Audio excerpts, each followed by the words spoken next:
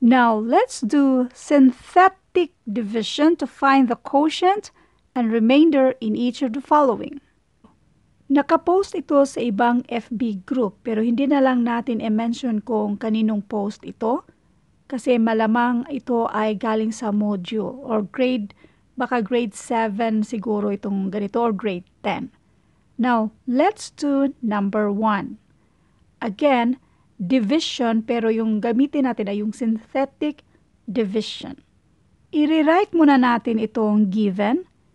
So this is 3x cubed plus x squared minus 22x minus 25 divided by x minus 2. Sa synthetic division, itong divisor na ito, i-equate natin to 0 tapos yung value ni x. Bali, x minus 2 equals 0.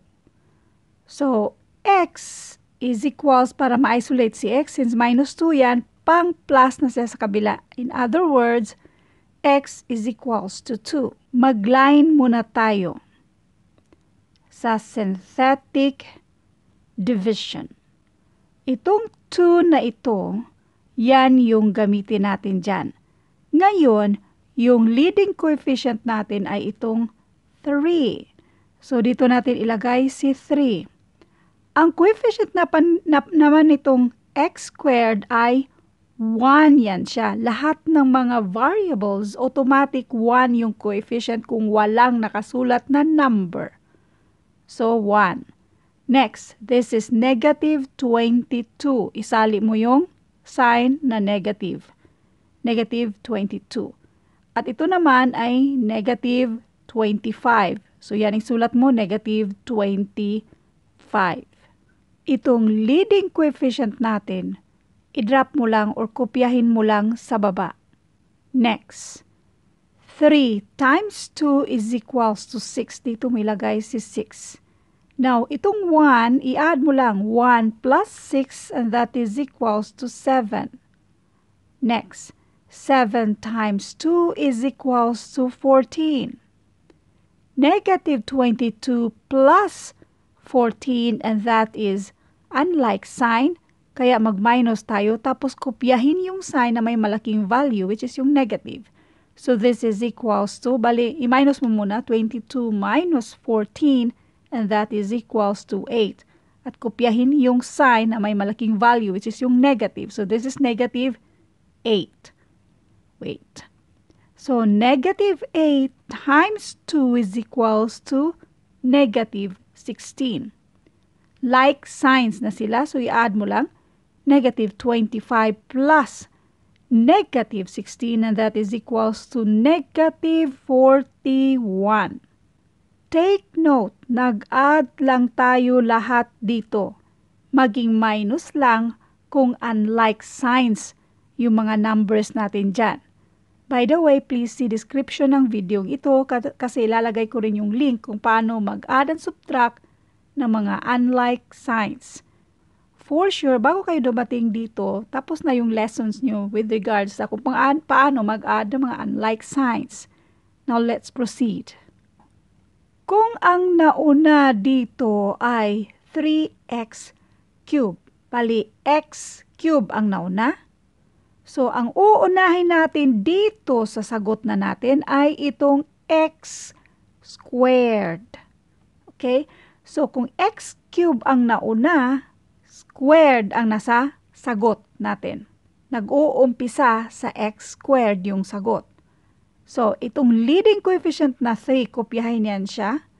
At ang partner niyan ay x squared. Next. Anong next sa x squared? x lang. Pababa tayo. Now, itong 7, 7 lang yan siya, wala yung sign. Ibig sabihin, that is positive 7. So, this is plus 7. Next wala nang next si x kasi si x dito ay isa na lang, wala siyang exponent. Kung mayroon mang exponent, 1 ang exponent dyan. Pwede namang wala na yan. So, kopyahin lang si minus 8 or si negative 8.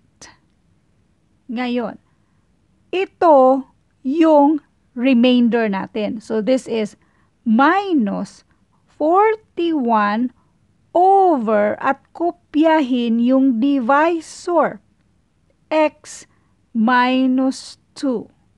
So, ang sagot, yung quotient natin ay itong 3x uh, 3x squared plus 7x minus 8 minus 41 over x minus 2. Ito yung quotient. Yung remainder minus 41. Ito yung remainder natin itong negative 41.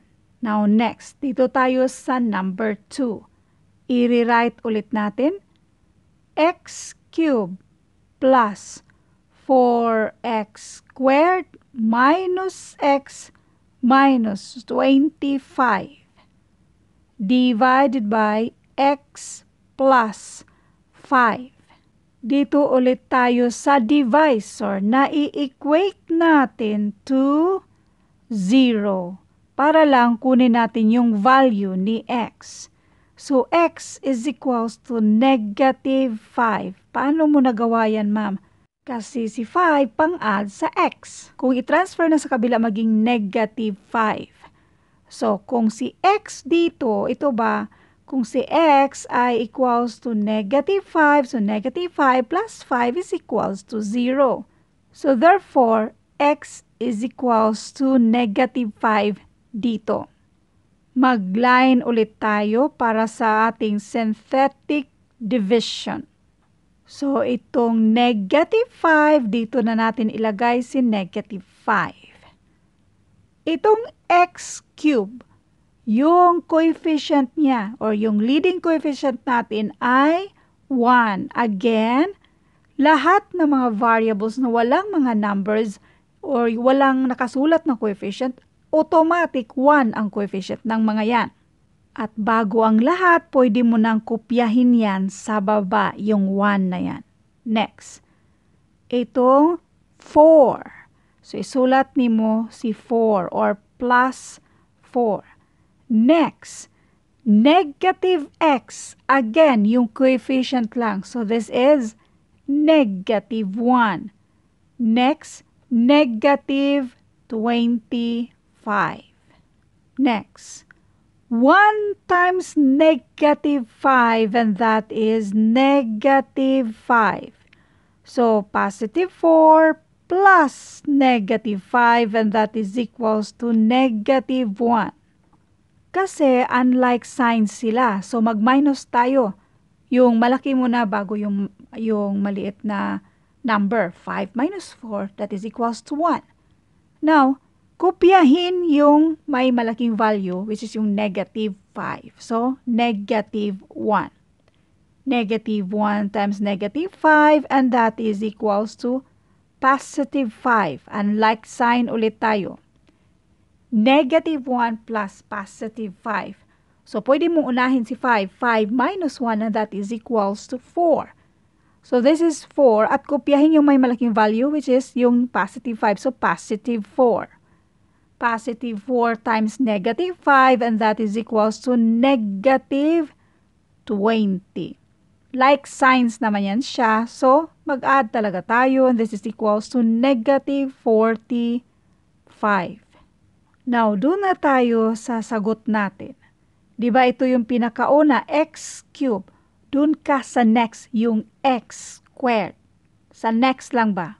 Kung pinakauna ay halimbawa x tapos fifth yung 5 yung exponent, yung next ka na 4 yung exponent. Ngayon dito, ang exponent dito ay 3. So doon ka sa next, dito ka sa 2 na exponent. So, this will be x squared. Ang coefficient niya, ay yung leading coefficient naman dyan ay 1, so x squared lang or 1x squared. Pareho lang yan, so no need nang isulat pa yung coefficient na 1 kasi automatic naman Kapag variable lang ang nandyan, 1 ang coefficient dyan. So, x squared lang. Next, negative 1. 1 ulit tayo. So, yung negative lang sulat mo. So, that is negative x. Again, kung ito ay squared, so ang next ay wala na. 2, pababa tayo ba? So, 1 yan siya. So, pwede namang walang nakasulat na 1. So, ang next dyan ay yung x. Ito ba? Pareho lang din dyan. Next, plus 4. X na yan, so ibig sabihin wala nang variable, wala mang x, 0. So, this is plus 4. At kahit lagyan pa natin ng x um, na may exponent na 0, ito ay equivalent sa 1, so 4 pa rin. Kaya wag mo nang isipin yan. Anyway, next, itong negative 45, yan na yung remainder natin. So, bali, this is negative or minus 45 over yung divisor na x plus 5. So, bali, ito na yung quotient.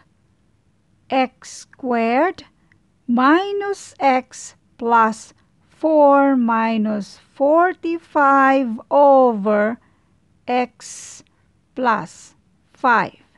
Ang remainder, negative 45. Now, kung paano natin ginawa itong number 1 at number 2 kung paano natin yan sinolve, ganun din ang gagawin nyo sa number 3, number 4, at number 5. Abangan ang mga future videos natin. Thank you for watching and God bless.